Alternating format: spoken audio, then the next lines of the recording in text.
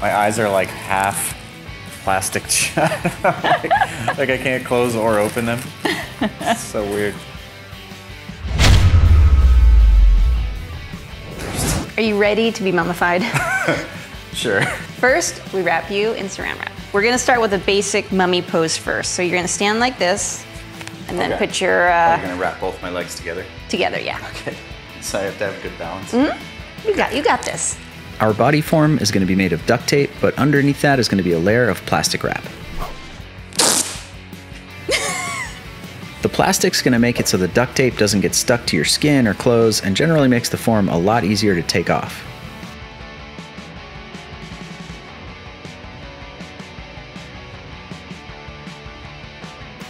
You're gonna draw lines like this, so we know where to tape it back together. We're going to cut this thing apart and then it's going to have to go back together later, so these lines are going to be really important to help us get it back into the same shape. After we do the legs, we move on to the torso. Once again, we start with plastic and then follow up with a layer of duct tape. It's a great material for body forms because it doesn't stretch at all and it holds its shape incredibly well. Next up, we do the arms, and we're careful here not to wrap the tape too tightly because that can make it challenging to cut off later on.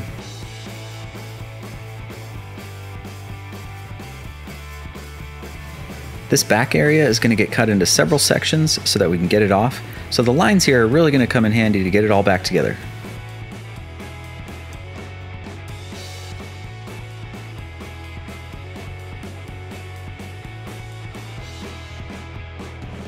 Now you feel better? This is gonna be awesome. It's it's gonna be fine. It's all good. It's all good. Yeah. It's all good. Yeah. It's you know just just take a deep breath. If you try this at home, be super careful and make sure to leave plenty of space to breathe. This is pretty obvious, but just to be sure. For our mummy, we're covering the nose but leaving the mouth wide open.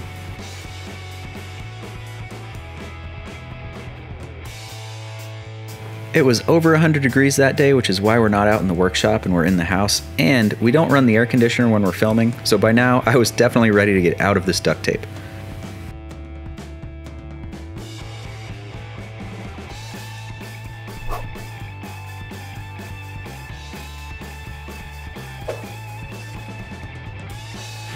Yay!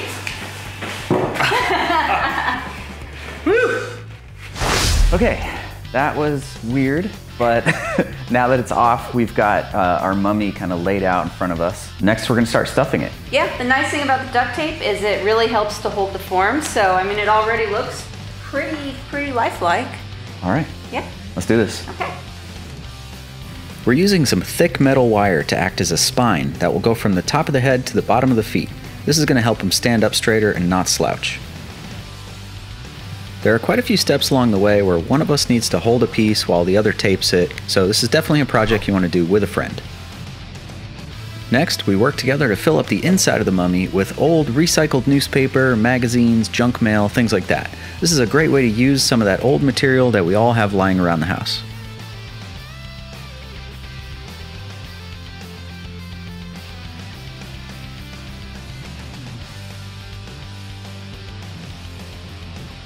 Here you can see where those black marker lines really come in handy for taping this back together. There's a spot on the upper back where four different pieces all had to come together perfectly, and if those lines weren't there, it would be a total mess.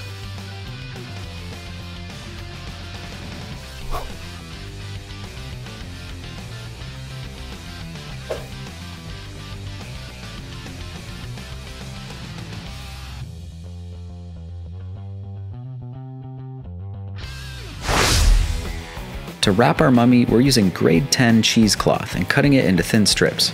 This cloth has an open weave that works perfectly for this and other Halloween projects. For links to all the tools and materials that we use for this mummy project, check the description. The cheesecloth is way too bright white for a mummy, so we're going to use black tea to stain it to give it an aged look. To do this, we'll make a giant batch of tea and let our cloth soak for about 10 minutes.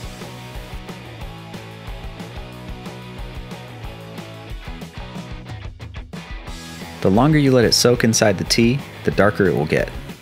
10 minutes was just about right for the look we were going for. After that, we'll drain it out, rinse it a bunch of times, and then let it dry. The cheesecloth is semi-transparent, so since you're going to see through it a little bit, we paint the body form white with some white spray paint, and that's going to make it so we don't need so many layers of cloth. Finally, we're ready to do the fun part. We're going to do a test wrap to make sure that we have enough cheesecloth. In our case, we actually didn't. We had to go back and make a bunch more and do another tea stain because we didn't have enough, but that's okay. Depending on how you cut your fabric, you'll have a frayed edge either on both sides or maybe just on one side, and you want to make sure that that points down to give it a more aged look. As you're wrapping, you can kind of go back and forth across different areas to give it some variation. You don't just have to do a simple spiral all the way up.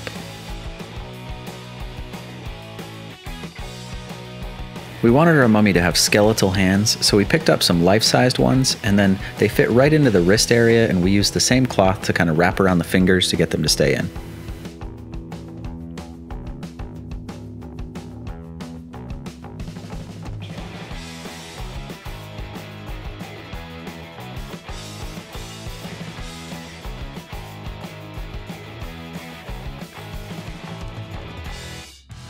The last step is optional, but we want our mummy to have an aged and dirty look, so we're using a watered down brown and black acrylic wash to dirty it up and give it some texture. Once it's dry, everything gets wrapped back up and our mummy is complete.